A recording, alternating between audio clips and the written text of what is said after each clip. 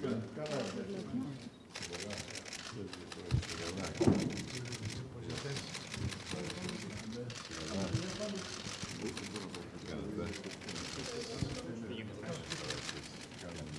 αλήθεια είναι ότι έχουμε θαρρυντικά,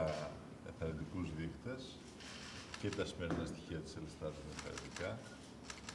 διότι δείχνουν ότι αν συνεχίσουμε σε αυτούς τους θετικούς ρυθμούς που είχαμε στα πρώτα τρίμηνα, τα δύο και ιδιαίτερα το τρίτο που από ό,τι φαίνεται είναι πάρα πολύ ενθαρρυντικό, όλοι το νιώθουμε αυτό και με την πολύ μεγάλη απόδοση του τουρισμού, μπορούμε να φτάσουμε στο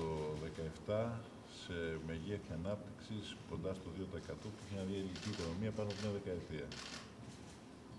Α, αυτό που χρειάζεται κατά την εκτίμησή μου βεβαίως είναι να διατηρήσουμε τη δημοσιονομική ισορροπία. Ταυτόχρονα όμως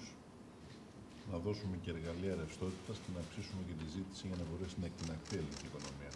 Και άρα ο ρόλος των ε, χρηματοπιστωτικών ιδρυμάτων,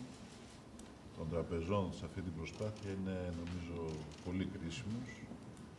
και νομίζω ότι ταυτόχρονα με αυτή την προσπάθεια πρέπει να επανοικοδομήσουμε την εμπιστοσύνη όχι μόνο των επενδυτών αλλά και των καταθετών στις ελληνικές τράπεζες. Ήδη είχαμε μια θετική εξέλιξη το, τον Ιούλιο με την αύξηση κατά ένα δις νομίζω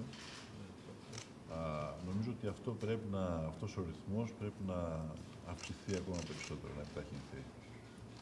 Και με αυτόν τον τρόπο νομίζω ότι θα κλείσουμε οριστικά τον κύκλο της κρίσης.